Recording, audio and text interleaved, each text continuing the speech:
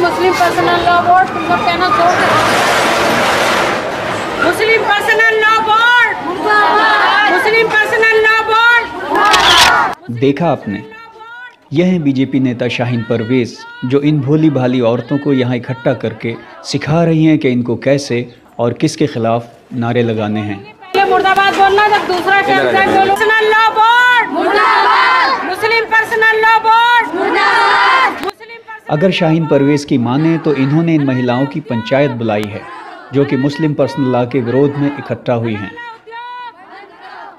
देखिए, आज हमने यहाँ मुस्लिम महिलाओं की एक पंचायत बुलाई थी और उस पंचायत में हमने ये निर्णय लिया है कि हम मुस्लिम पर्सनल लॉ बोर्ड को सबक सिखा के रहेंगे। क्योंकि आज तक जब से मुस्लिम पर्सनल लॉ बोर्ड बना है मुस्लिम महिलाओं की कोई परेशानी तो दूर कर नहीं पाया।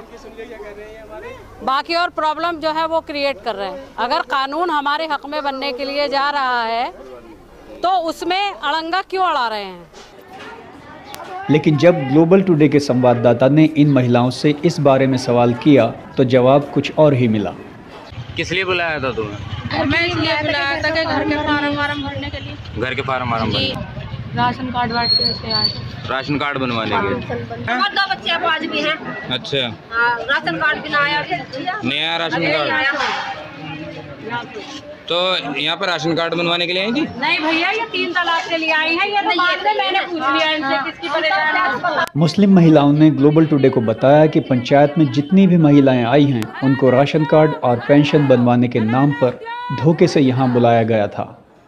ज़ाहिर है कि बीजेपी में अपनी राजनीति चमकाने के लिए शाहीन परवेज़ ने इन भोली भाली मुस्लिम महिलाओं से झूठ बोलकर एक पंचायत बुलाई।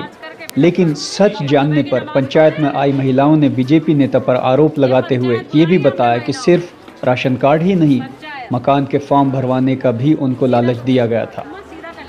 ग्लोबल टुडे के लिए मेरठ से आलम की रिपोर्ट। ग्लोबल टुडे यूट्यूब के साथ लाता है देश विदेश की ताज़ा तरीन खबरें और नए नए वीडियोस। हमारा चैनल सब्सक्राइब करने के लिए बेल बटन दबाएँ और सब्सक्राइब करें ग्लोबल टुडे